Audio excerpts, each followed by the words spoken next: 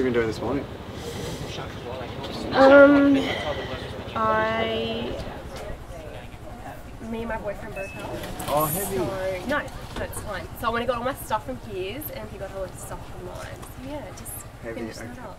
Yeah, true. All right, change the subject. oh, nice. How's that for an These icebreaker, couches, eh? Yeah. These couches are great. yeah.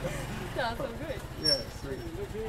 Is more of your focus on um, kind of building yourself up for surfing, or are you kind of a little bit more free and you just go for, you know, whatever you feel like doing at the time, skating and stuff? Um, I think for the past couple of years, I've I've really been tossing up between that free surfing or Yep. competitive surfing.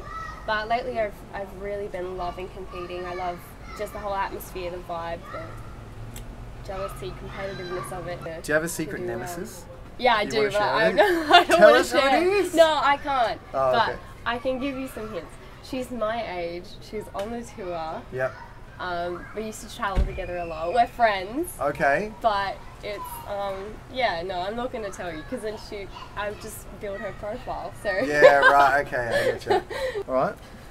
How many fingers am I holding up? uh you're holding up two She's good. She's really good. Holy shit.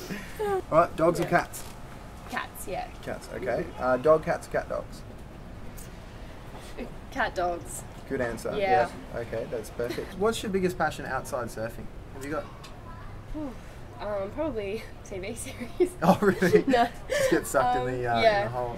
no no my biggest passion outside of surfing um probably feminism actually Yeah. Okay. yeah Cool. A real Huge activist, eh? feminist, yeah Yeah. I'm probably really passionate about doing what you love and just keeping happy because like it's easy to say but it's a hard thing to do is to find what you love to do or what you, you want to do and just to have a good routine and to, to keep at it.